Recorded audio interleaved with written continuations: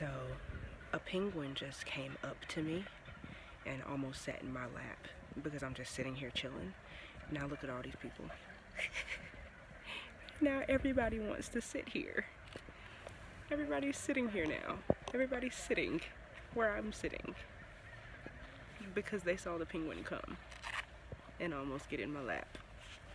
I did not take pictures of the penguin almost getting into my lap because I didn't want to disturb it. I did take a little bit of video.